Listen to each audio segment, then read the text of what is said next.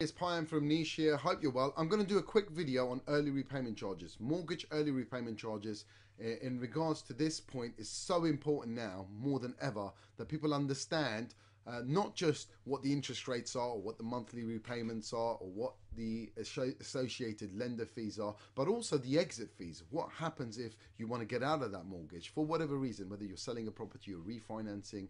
Um, and uh, generally, uh, these is always outlined in, well, it's always outlined in the uh, mortgage illustration, uh, which you would have been provided by the lender or the mortgage broker. And I'm going to look at some of these illustrations. Now, the mortgage illustration outlines everything to do with that mortgage product uh, and the advice given. So it will outline who your mortgage broker is, and the fees that they will receive, the fees that you will have to pay, all the information about the product, the fixed rate periods, the lending fees, any associated fees like survey fees, all of those things are important for you to understand. However, I'm going to concentrate on section 8 of that illustration, which is early repayment charges. Right, so let's have a look at this.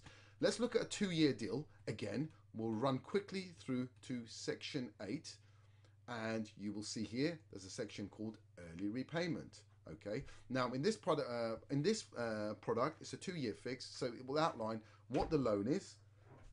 What is the early repayment charge? So it's two percent of the amount to be repaid so of this amount until this period and the charge is this. And then on the second year obviously you've reduced your mortgage uh, on during that year, it will drop down to 1% until this period and this is the fee. Now, there is an additional fee of a, they call it a redemption administration fee. Different lenders call it different things of £95. And that's generally paid out. And that's like an admin fee by the lender. So at the bottom here, it says, look, if you wanted to get out of this product, the maximum you'd ever pay is £6,000 plus £95. And there is a section here saying, look, you know, you should really get in touch with your lender um, and make them aware and see, uh, you know, what uh, the early repayment charges are uh, up until what periods and when do they start. There's two points around this. Majority of uh, residential mortgage products and some buy-to-let products have got a 10% overpayment facility.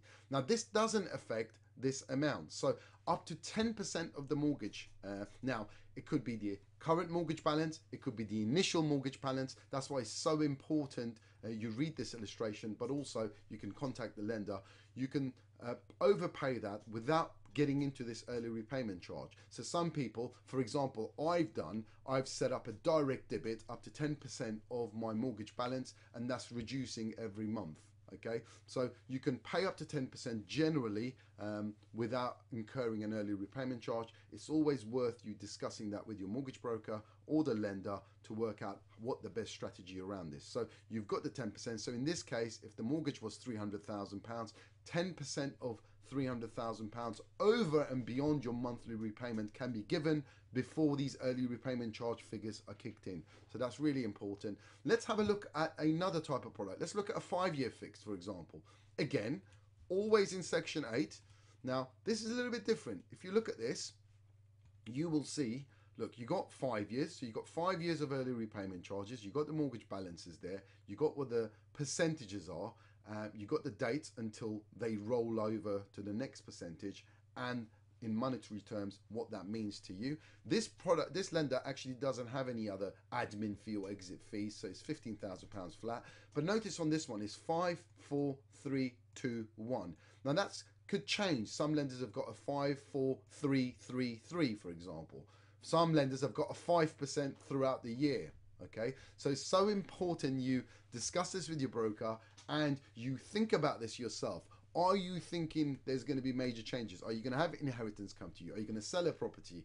If you are when do you think that's going to happen? If it's going to be in year three it might be better to go for a two-year fix for example so you're free on the third year or go for a tracker type of product and a tracker with no early repayment charges if you want, you know, if you think you're setting stone and nothing's going to change, maybe a five year fix, and maybe you could take a risk with a better product, with a better rate, but maybe it's got a harsher early repayment uh, uh, strategy. Okay, let's look at one more product here, and that will be a tracker product. Now, this is so important, guys. Just because a product is a tracker, okay, now that could track the Bank of England base rate, for example, or we could track the lender standard variable rate, or the lender's rate or some other type of tracker.